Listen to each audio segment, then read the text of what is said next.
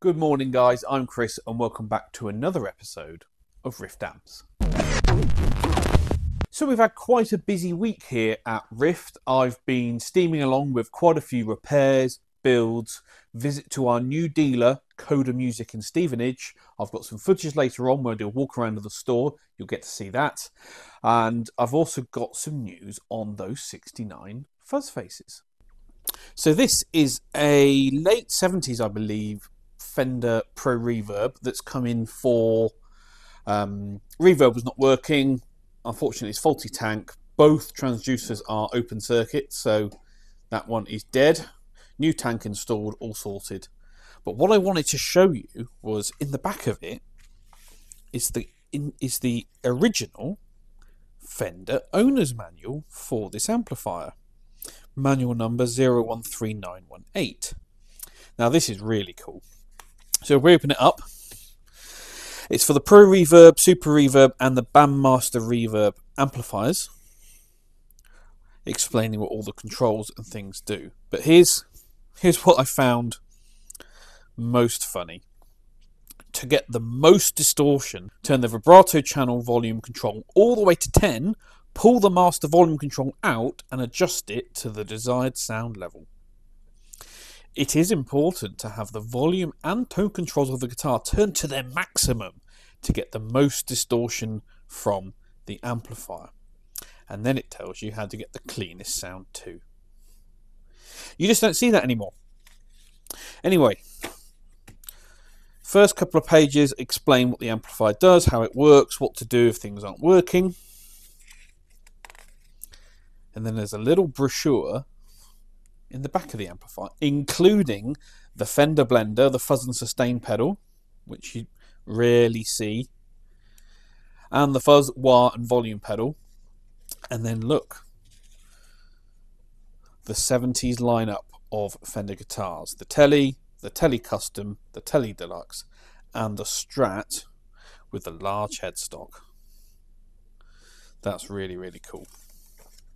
So, yeah, that's interesting. Thought you'd all be interested in that. But this Pro Reverb, I didn't film the repair because it was very, very simple. Again, just a faulty reverb tank. But yeah, job done.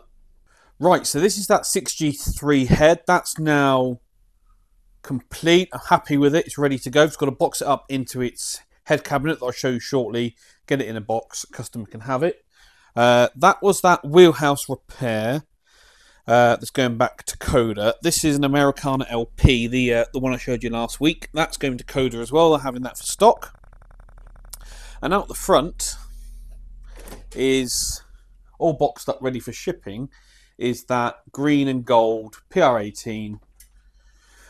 Um, it's off to France. So yeah, quite a few amps going out the door. I've just had another cabinet arrive. This is another Americana cabinet, so we get that going. And yeah, crack on. And there we go, one 6G3 head. So you've got two channels, normal and bright, each with a volume and tone, and then you've got the two tremolo controls, speed and intensity. Really happy with this one. Love the way it sounds. It's come out great. Customer's going to be really happy with it. And now I can crack on with the other ones. Right, so I've had this Mesa Boogie F30 dropped in uh, by a good customer of mine. Now, I don't usually touch Mesa Boogies, I'm not interested in them. There used to be a distributor in the UK for Mesa Boogie who offered technical support on the amplifiers. Um, they've gone and Mesa Boogie now sell direct to dealers, so there is no support from the manufacturer unless you're an authorized repair center, which I am not, so I usually just turn these away. But my customer um, asked if I'd help, and I want to see what I can do. So the issue, he says, is that there's no output on the clean channel, but on channel 2 and the channel 2 with the contour, there is output.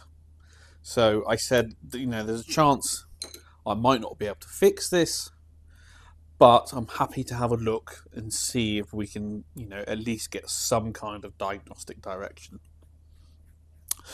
Uh, so let's get this thing apart and have a look inside.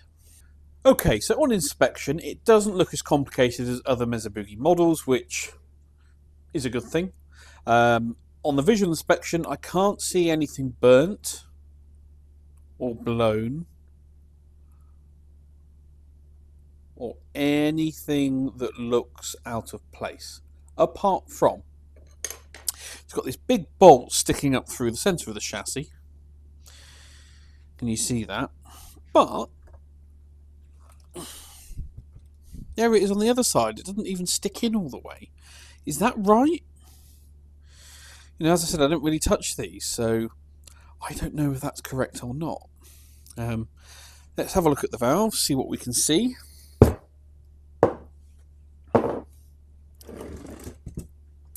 Got a set of groove tube EL84s.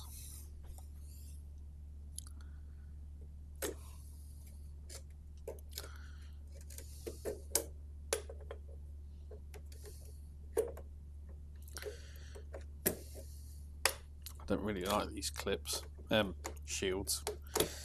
I mean, look, all the rubber's just falling apart. This is not good.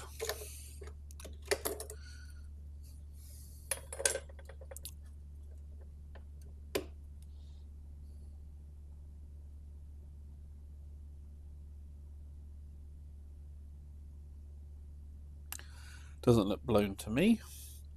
I'll just go through and check the others, but I don't think this is a valve problem. But I do need to have a look online to see if I can find a schematic for this circuit. Because without it, I'm kind of flying blind. I mean, how on earth do you work on that without a schematic?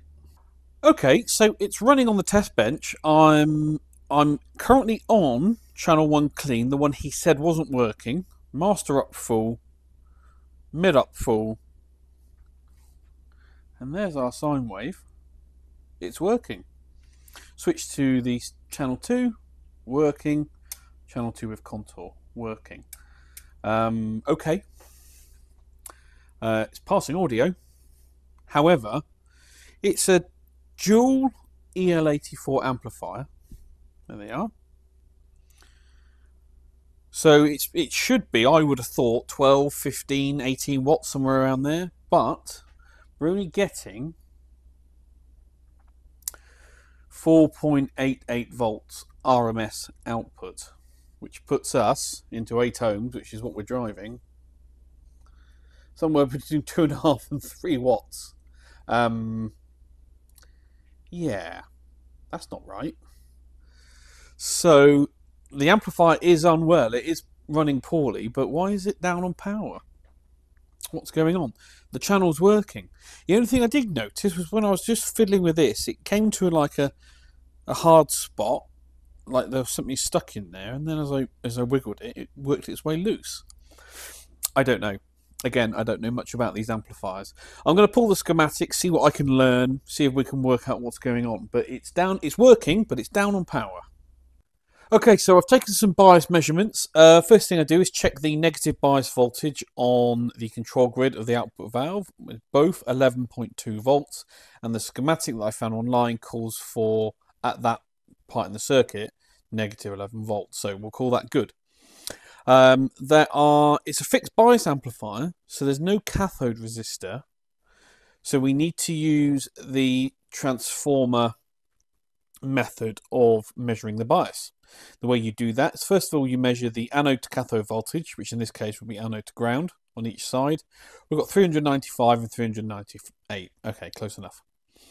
You then measure the voltage drop across the transformer winding, so from the anode to the centre tap on each side. And as you can see, we've got quite a discrepancy, just over 6 volts on one side and 3.24 on the other. You then switch the amplifier off, drain it of all any residual charge, and then measure the resistance between the anode and the centre tap on each side. And we've got 222 ohms on one side and 215 ohms on the other. Now, they are never never exact because one one winding is done first and then the other is done on top, so obviously has more wire for the same amount of turns. Anyway, we can then use Ohm's law to calculate our anode current, which is 27.4 milliamps on this side and only 15 on that side. Maximum for an EL84 is 12, so we end up with 10.8 on one side and 6 on the other. So we've got quite a, a big discrepancy there. We've got a mismatched set of output valves.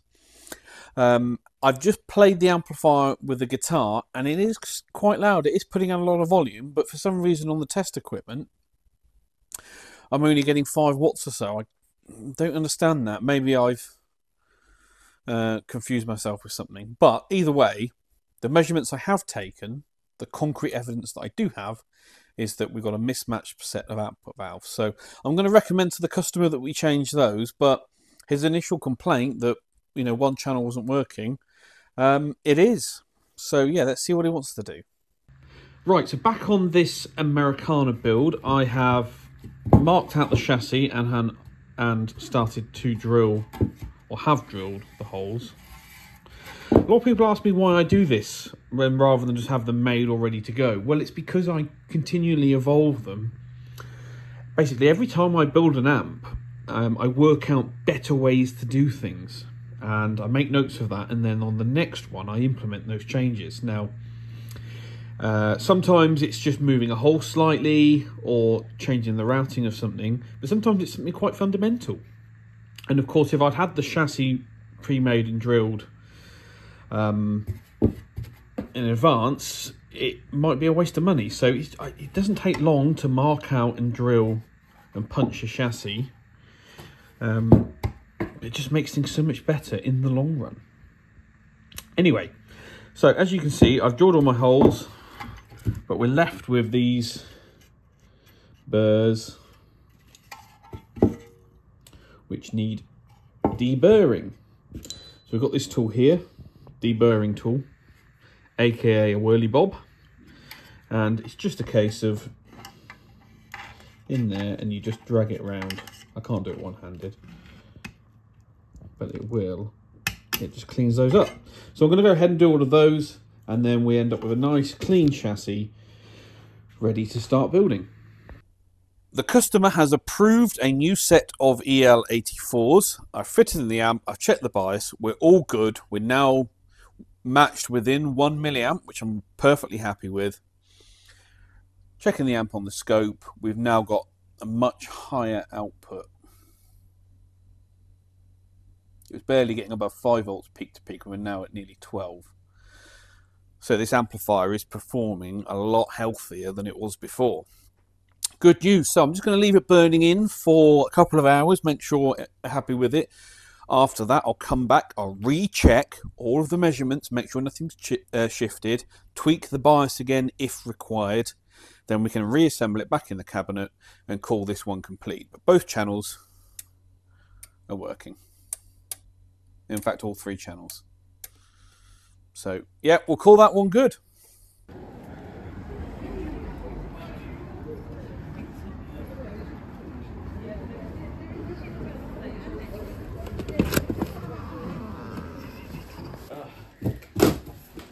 So this is the one, when you do one with the reverb and tremolo.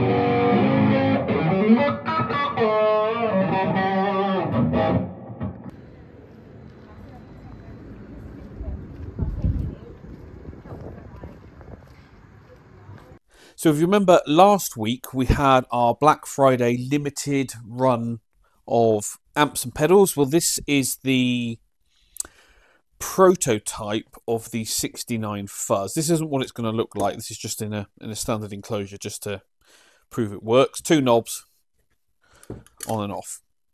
But yeah, we're doing it on I decided to do it like this on two small strips of eyelet board. Again, this is just a prototype, so it's, it's a bit rough, but I wanted to show you. Um, got all the components spanning across the middle, like so, proper point to point, hand wired, as you all like to see. So, um, uh, I'm now happy to go ahead and, and start production on these for those that did order. If you didn't order, you missed out. I'm really sorry, but you know it's not a limited run if everyone can buy them. So yeah, I've just got to um, get the enclosure design done now. Get the enclosure screen printed um, and made up. And then they can get here. I can drill them and I can um, do the final build on all of those units for those lucky people that put their order in and got one. So that's that chassis now done. I have also done the, um, if I can get that off, I can't. I've done the board mounts, Loctited in of course, just checking that that all fits. And now I can go through, mount all my sockets and jacks and things. I've even punched the IEC hole out for the IEC socket. So that's good to go start putting grommets in, making good progress on this. This is a full power Americana, if I haven't said already. Making good progress on that. Really happy. Um, more updates next week. Just a quick update on this Angelista signature build. I have started wiring in the preamp sockets. Just got to finish off the output sockets. The control side of the board, heaters, output transformer, mains transformer, that kind of stuff. But yeah, good progress on that one. Well, that's it then, guys. Thank you very much for watching once again. I really appreciate everyone who tuned in and watched last week. We had record viewers on the channel.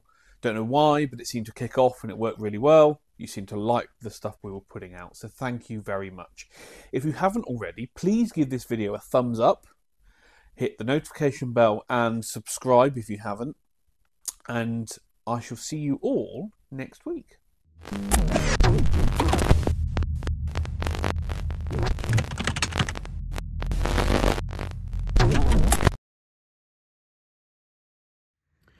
Something a little bit different. This is an airbag module from a 1994 Mazda MX-5. As most of you know, I race MX-5s in my spare time. I also drive one on the road, but for someone else on a forum, uh, on the 1994 model, the airbag module is known to fail, and it was only used in that year. 95 onwards, it had a different system.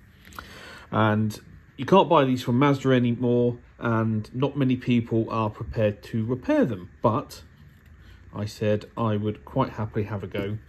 Common issue on them is the electrolytic capacitors start to leak, start to damage the board, and then you start to get warning lights on the dashboard. So, chap sent this to me.